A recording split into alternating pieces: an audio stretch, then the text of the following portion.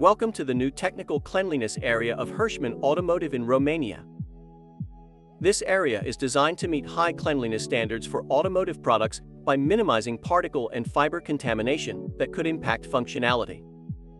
An advanced airlock system and specialized clothing ensure a pristine environment over 5,000 square meters.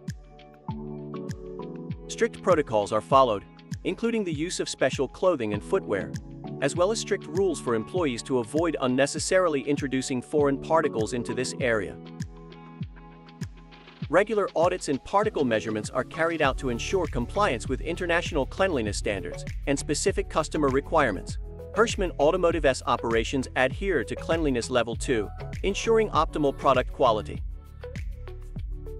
State-of-the-art air filters capture both coarse and fine dust, with real-time filter performance monitoring. To maintain this level of cleanliness, we do not use wooden pallets or cardboard boxes. Instead, pre-cleaned plastic pallets and containers safeguard our products.